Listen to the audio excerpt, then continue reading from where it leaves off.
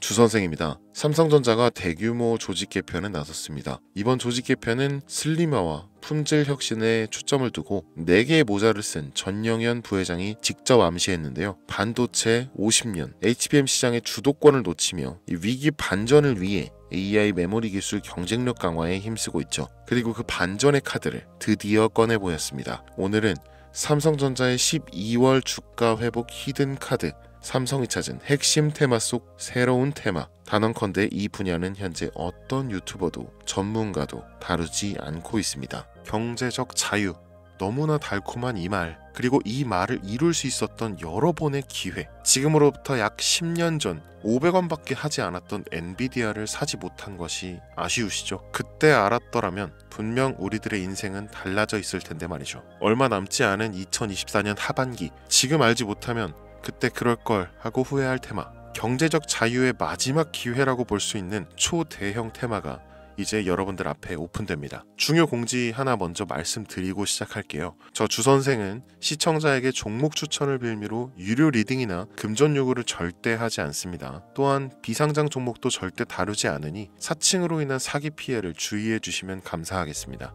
구독과 좋아요 한 번씩 눌러주시면 더 좋은 영상을 만들어가는데 큰 힘이 되니까요. 꼭 한 번씩 부탁드릴게요. 자, 인공지능 AI라고 표현합니다. 이미 너무나 유명한 테마인데 혹시 모르시는 분들도 계실 수 있으니까 간단 명료하게 말씀드릴게요. 인간의 학습 능력, 추론 능력, 지각 능력을 인공적으로 구현하려는 컴퓨터 과학의 세부 분야 중 하나가 되겠습니다. 이 정보공학 분야에 있어 하나의 인프라 기술이기도 하죠. 즉 인간의 지능을 모방한 기능을 갖춘 컴퓨터 시스템이며 인간의 지능을 기계들이 인공적으로 시연한 것을 이야기한다라고 짧게 정리할 수 있겠습니다. 자, 자세한 지식까지 모르더라도 인공지능 AI 하면 대부분 이게 어떤 것들인지 알고 계시는 분들은 많을 거예요. 그렇죠. 워낙 오래전부터 전 세계인들은 이 문화적인 컨텐츠로 간접적인 접촉을 하고 있었기 때문에 너무 생소하다거나 어렵게 느껴지는 부분은 없을 겁니다. 자, 그럼 이제 이 인공지능 AI 분야가 제가 말할 초대형 테마에 어떻게 녹아드는지 순서대로 쉽고 간단하게 설명드릴게요. 자, 지금부터는 하나도 버릴 게 없는 중요한 내용들이니 집중해서 들어주시면 시청자분들의 통장 잔고를 늘리는데 많은 도움이 되실 거라 생각합니다. 자, 우리 삶에 있어서 인공지능을 만날 수 있는 분야가 굉장히 많이 있죠. 예를 들면 자율주행 부분, 이 전기차라는 키워드를 넘어서 이 자율주행 기술로 테슬라의 주가가 미친 듯이 올랐었다는 건 주식을 모르는 분들도 대부분 알고 있는 사실입니다.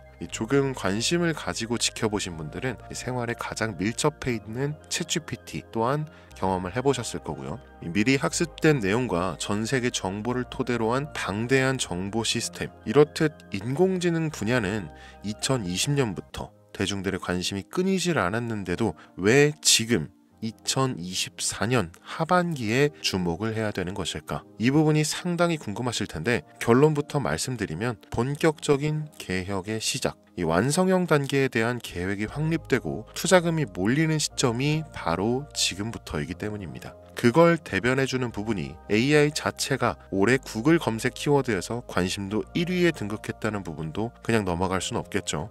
기존의 AI는 2021년도에 제동이 한번 걸리는 바람에 모든 사업 분야가 주춤했던 적이 있었고 또 유네스코의 권고가 있었단 말이죠. 윤리 집행, 책임 메커니즘이 필요하고 이 시스템 자체가 편향적으로 치우칠 가능성이 크다. 쉽게 얘기해서 개발자와 소비자에게 요구되는 윤리의식의 확립이 강력하게 필요하다고 권고를 했었습니다. 이 유네스코의 권고는 국제적인 협약 보증이 있는 국가 기업이 나서지 않는 이상 더 앞으로 나아가기 힘들지 않을까 하는 투자 심리 또한 위축되는 현상을 겪어야만 했었는데 인간 그리고 과학자의 욕망은 끝이 없다고들 하죠. 이 구글과 마이크로소프트를 주축으로 흐름이 끊기지 않고 이어져 온 AI 연구는 결국 하나둘씩 그 결실의 열매를 맺게 됩니다. 그리고 지금 말씀드릴 테마가 바로 이제 곧 열매를 맺게 될 결실의 산물입니다. 여러분 코로나 팬데믹 기억하시죠? 이 전 세계적인 질병의 탄생으로 인해 모든 나라의 경제가 박살이 났고 그 와중에 임상 실험 결과 나온다 하는 기업들은 상한가 두 번, 세 번 맞으면서 분명한 바이오의 대부흥기가 왔었죠. 그런데 그때 주식했던 분들은 나는 왜 바이오에 물렸을까 하는 생각 해보셨을 겁니다. 남들 다 돈 벌었다는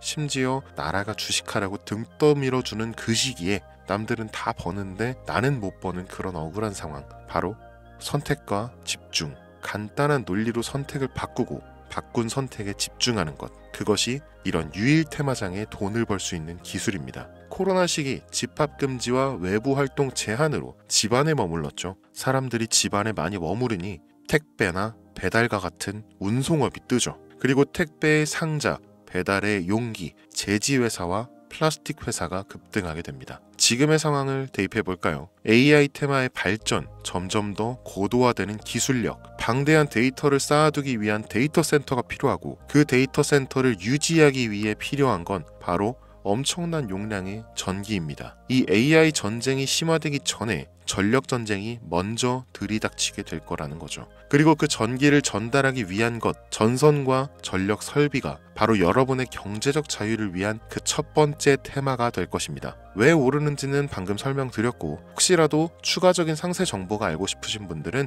영상 하단 링크를 통해 연락처 남겨주시면 따로 보내드리는 걸로 하고요. 이제 여러분들이 가장 궁금해하시고 이번 영상에서 중요한 키포인트 이 수많은 전선과 전력 설비 관련주 중에 어떤 게 AI 전산 처리 데이터 센터와 관련이 있고 그 중에서도 주목해야 되는 종목은 어떤 건지 지금 바로 보여드리겠습니다. 첫 번째 종목 광명전기입니다. AI가 국가적 사업으로 반영되고 발전된다면 주요 매출처가 한국전력공사인 종목이 가장 큰 수혜를 받겠죠. 전력난의 심화가 진행될수록 데이터 센터의 필요성이 더 커질수록 더더욱 빛을 발할 종목이라고 개인적으로 평가하고 있습니다. 다음 두 번째로는 제룡전기입니다. 변압기 생산업체로 데이터 센터 수요 증가에 따른 변압기 시장에서 큰 성장을 이루고 있습니다. 이 데이터 센터의 전력 소비량이 증가함에 따라 변압기 수요도 급격히 늘어나고 있으며 이는 제룡전기의 매출과 실적 개선으로 이어지면서 꾸준히 좋은 모습을 보여줄 거라 생각되죠. 다음은 세 번째 종목입니다. 일단 젠슨 황 사진이 화면에 보이시죠?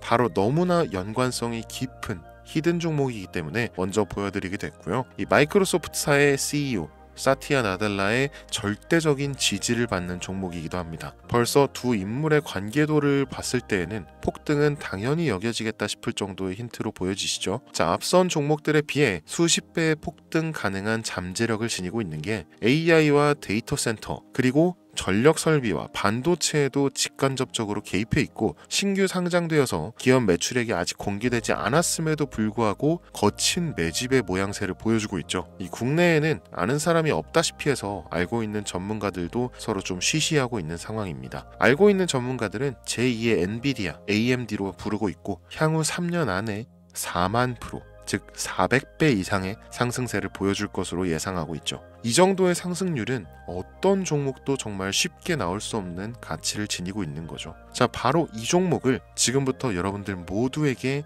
제가 공유해 드리겠습니다. 단 일반적인 종목이 아닌 만큼 제가 현재 실시간 방송에서는 종목명을 이렇게 모두 가려놨습니다. 이 기존 구독자분들은 아시겠지만 제가 그동안 많은 종목들을 공유하고 수익을 함께 올리면서 사칭, 사기꾼들에게 이용된 경우가 너무 많았습니다. 제가 아닌데도 불구하고 뭐 주선생이 종목을 준다면서 금전 피해를 입었다 등등 뭐 너무 심각했어요. 예, 추가로 이런 유료방 업자들까지 제가 공유한 종목들을 가져다가 돈을 받고 팔아먹는 행위에 대한 워낙 많은 제보가 이어졌기 때문에 지금 이 영상에서 히든 카드는 공개하지 못하는 점 양해 부탁드립니다. 물론 업자가 아닌 모든 순수한 시청자분들께는 오늘의 신테마 종목 아낌없이 공유할 예정입니다. 이 엔비디아와 마이크로소프트 CEO가 연관된 올 하반기 최대 수혜 테마인 AI에서 파생된 히든 종목, 전문가들이 400배 이상의 상승을 예상하는 신규 상장 종목, 지금부터 공유받는 방법